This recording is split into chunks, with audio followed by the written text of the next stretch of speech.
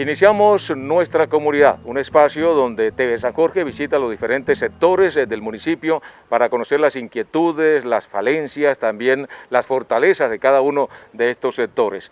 Pues Yolanda Páez es el lideresa del sector de Colonia de la provincia al norte de nuestra ciudad. Yolanda, bienvenida a nuestra comunidad y hablemos precisamente del sector, los años que tiene, las fortalezas que ustedes tienen acá, pero también las falencias, lo que se necesita en el sector.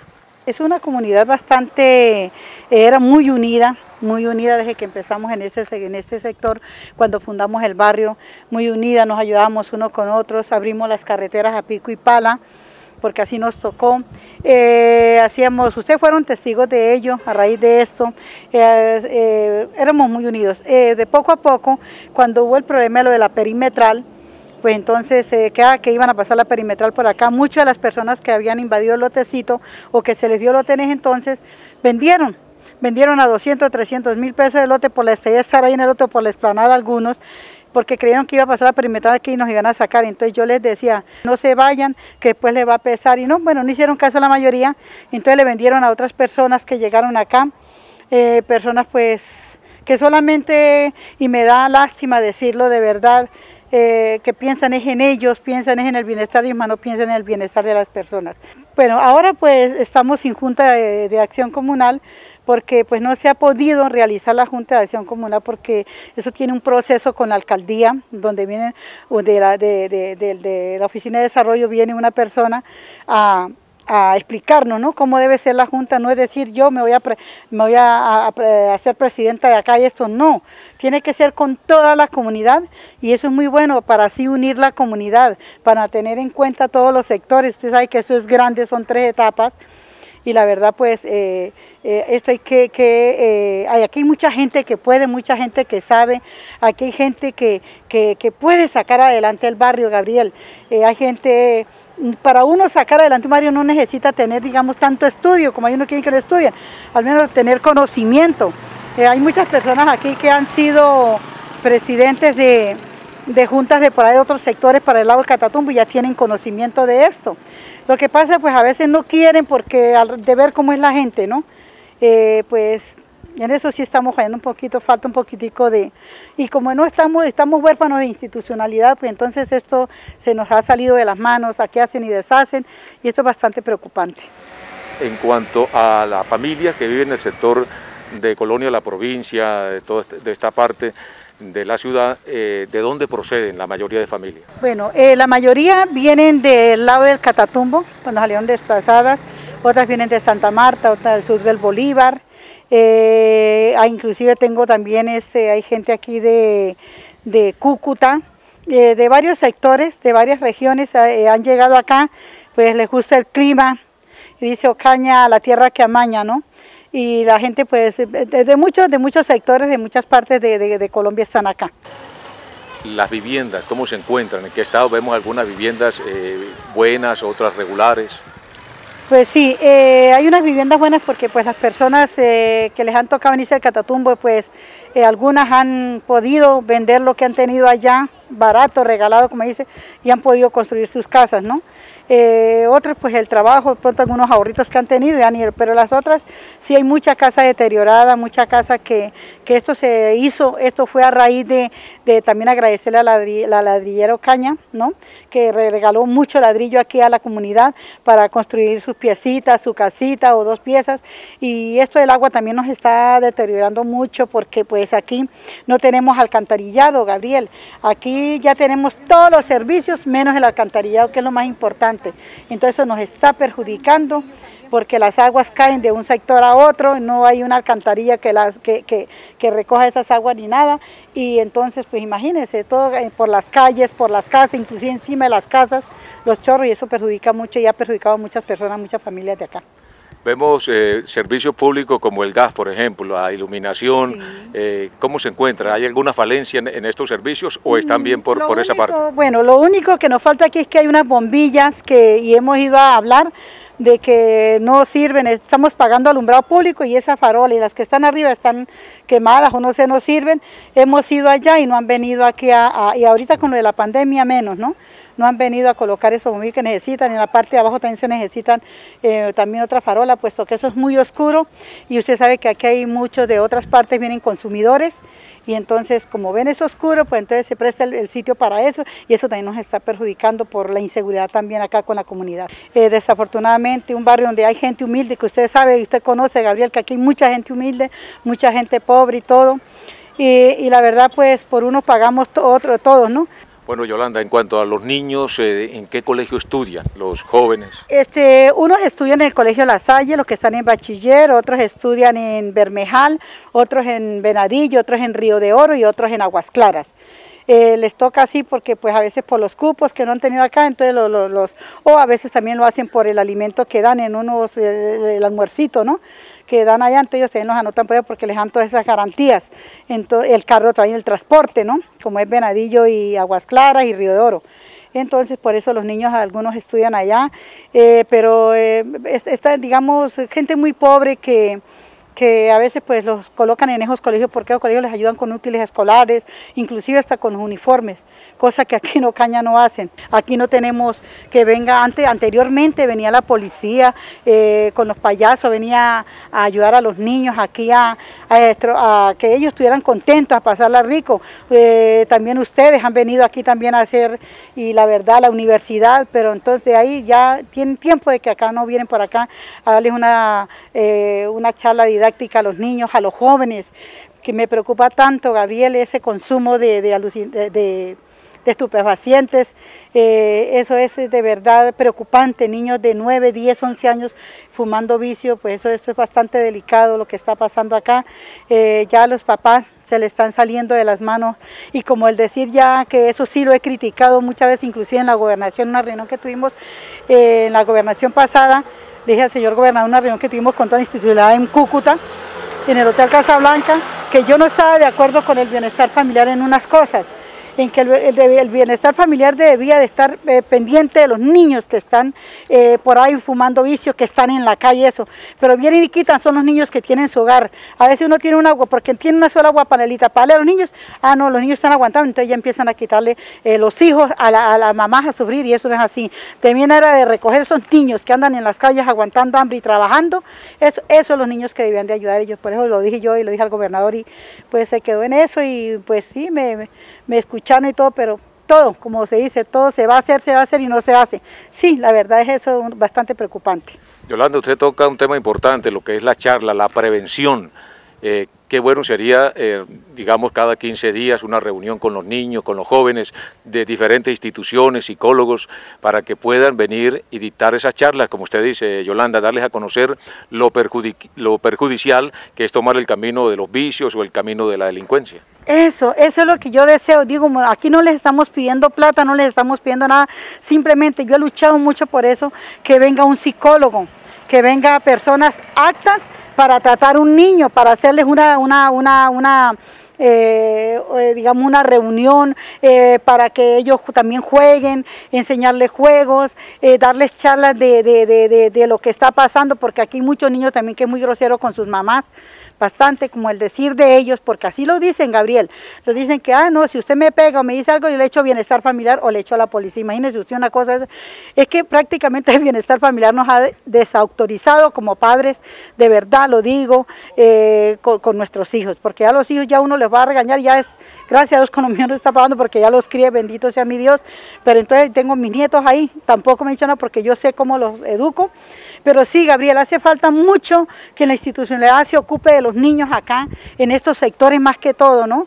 Porque ellos aquí no tienen, que pues por ahí nos ofrecieron que iban a hacer un parque eh, biosaludable, pero se quedó en veremos, la administración pasada se quedó en veremos y no nos hicieron nada, eh, porque la verdad pues yo creo que eso sí sería bueno, o que vengan a dar las charlas a concientizar a los niños, inclusive a los padres, porque los padres, uno de padres es el que, que, de ahí es donde radica el problema, porque uno tiene un problema con el esposo y uno es delante de ellos, entonces ellos van cogiendo esa agresividad y todas esas cosas y están aprendiendo lo que verdaderamente no sirve. Aquí hay muchos padres de familia que discuten delante de los niños y así se van los niños criando con esa rabia, con el de ver cómo le tratan la mamá y todo eso. Aquí hay mucho problema intrafamiliar de verdad. Bueno, en cuanto a parque, eh, aquí en el sector, es decir, eh, eh, parque infantil, parque para toda la, comunidad, no existe. no, no existe. Y está el sitio que lo tenemos en la parte alta de arriba, un sitio grande donde debían hacer un parque, aunque es infantil para los niños. Qué lindo sería eso, que estar allá y que los niños se dispersen, los niños eh, conozcan,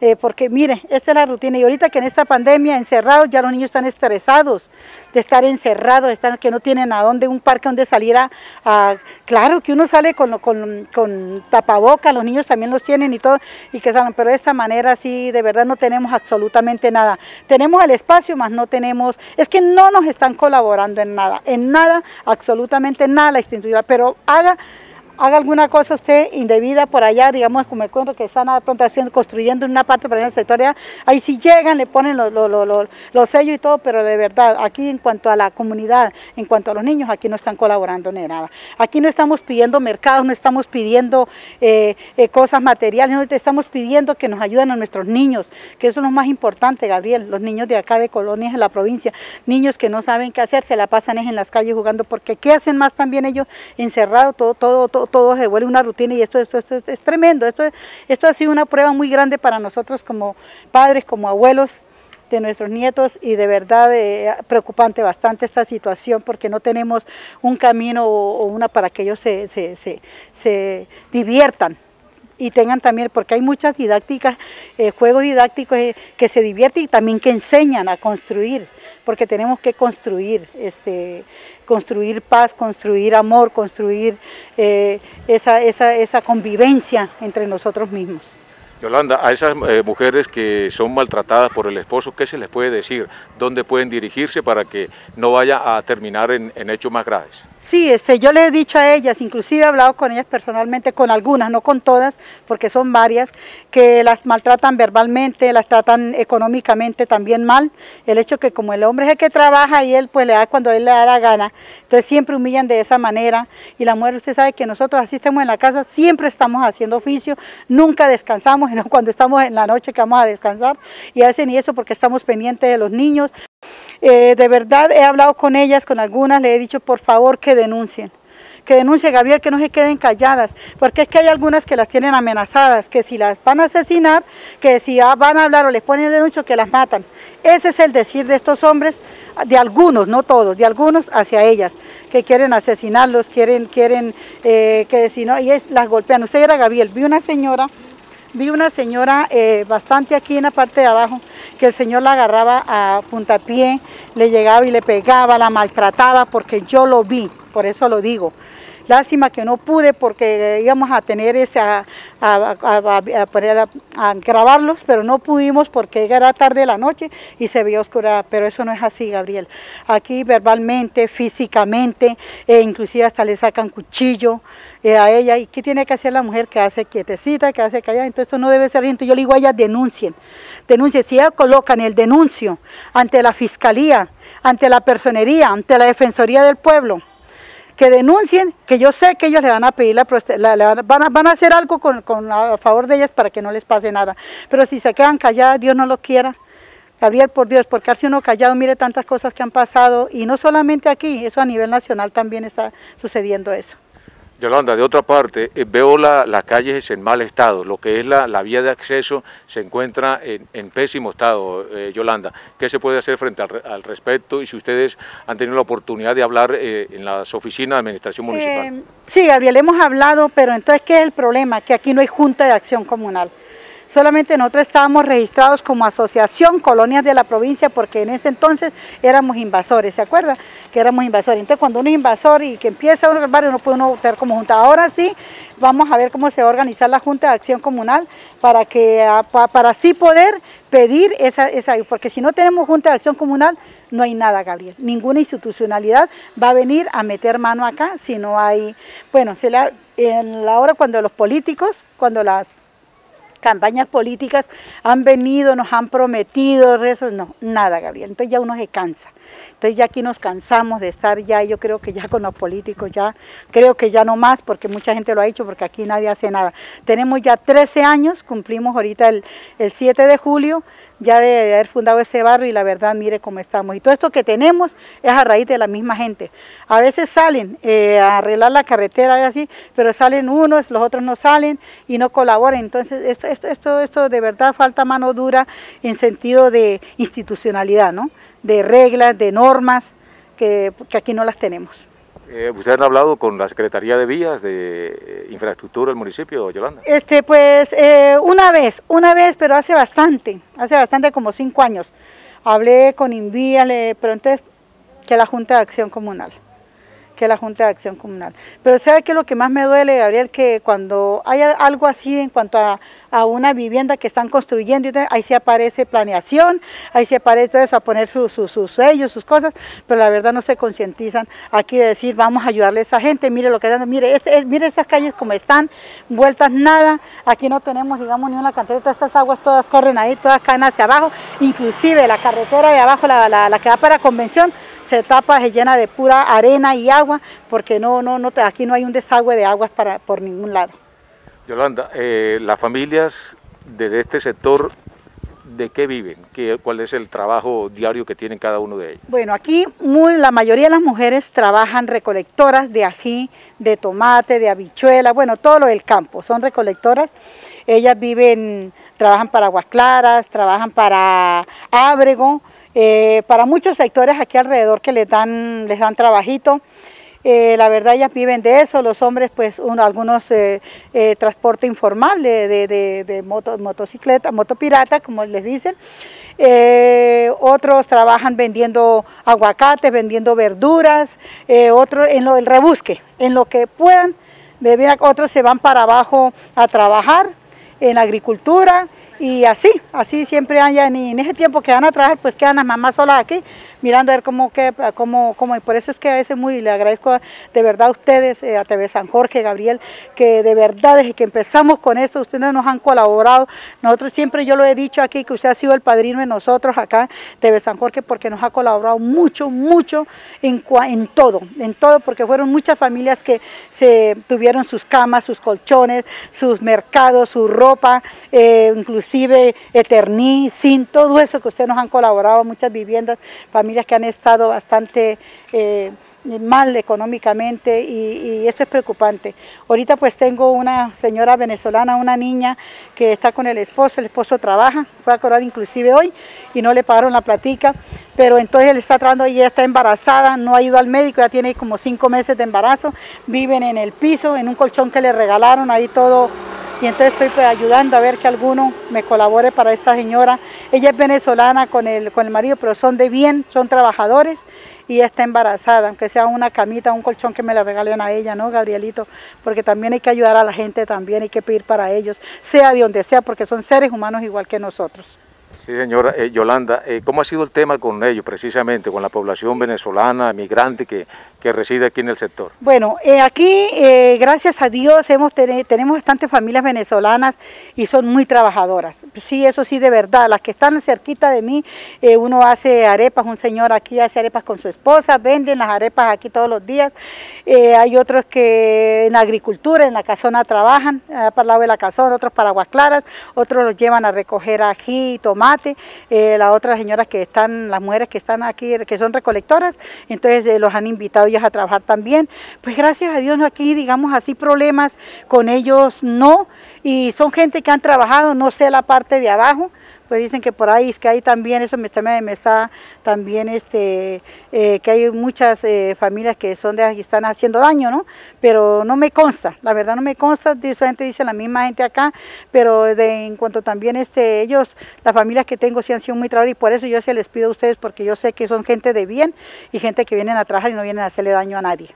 Pues decirle a la institucionalidad que por favor, que se acerquen acá, que esto no es lo que dicen acá, que eso está lleno de, gente mala, gente, eh, no, que vengan, aquí hay gente buena, que se den cuenta de las necesidades que tenemos nosotros acá, acá no les va a pasar nada, pueden venir en el día, como que la institución pueden venir aquí a darse cuenta de lo que está pasando, que se concienticen, por favor, que se pongan la mano en el corazón, que o si no pueden venir ellos, los que mandan allá en, las secretarías, entonces que manden a un delegado para que ellos se den cuenta de la situación acá, que nos colaboren, aquí nos falta mucho, primero que todo, lo más importante, lo más esencial, la convivencia. La convivencia.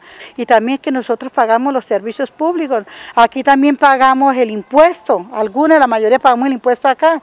Aquí nosotros también necesitamos del instituto, nosotros aquí como si fuéramos de otro, de otro, otro sector, como si no fuéramos de Ocaña. De verdad nos tienen muy, muy descuidados. Pedirles a ellos, por favor, que nos colaboren, que vengan y nos ayuden a formar, a organizar esa Junta de Acción Comunal. Y mire, el alumbrado público nos está perjudicando mucho. Abajo se necesita una bombilla, tampoco hemos podido. No pudimos con, con la doctora Miriam, que, que mejor dicho es que ni nos atendió. Yolanda, en cuanto a agua potable. Bueno, muy bien. Muy bien, gracias a Dios, eso sí, ¿para qué? No es porque, pero aquí con el agua, gracias a Dios, bien nos llega el agua y todo.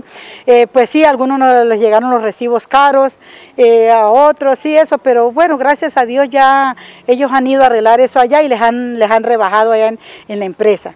Eh, sí, gracias de, de agua sí estamos bien, gracias al Señor y la gente también ya está cuidando su agüita, me imagino, y ahora que tenemos el medio, pues tenemos que cuidarla porque no era como antes cuando teníamos las mangueras, que eso botábamos agua, eso era un, como un lago, como se dice. Y no, sí, gracias a Dios, en cuanto a agua, muy bien. Bueno, Yolanda, muchas gracias por atendernos y ya hemos dado a conocer la problemática, las fortalezas y la falencia también de este sector de Colonia en la provincia. Muchas gracias Yolanda y TV San Jorge, siempre haciendo presencia en todos los sectores y este es uno, uno de ellos donde, como usted lo dice, siempre eh, desde la creación del sector hemos estado presentes. Sí, de verdad agradecerles mucho, agradecerles mucho Gabriel porque yo sé, los estimo, los quiero mucho, que pedir, pedirle a Dios que Dios me los bendiga me los ayude a todo ese equipo de trabajo de TV San Jorge porque siempre han estado con nosotros, nunca nos han abandonado y es mucha la ayuda que nos ha dado, gracias a Dios y a la comunidad de Ocaña también, porque hay que agradecerle mucho también a ellos que nos han colaborado acá. Bueno, muy bien, Yolanda Páez, quien es lideresa del sector de Colonia de la provincia, aquí en este espacio Nuestra Comunidad del canal comunitario TV San Jorge, de Azucar San Jorge. Contáctonos a través del 301 6385 938. Estaremos también haciendo presencia en sus sectores. Esto es Nuestra Comunidad.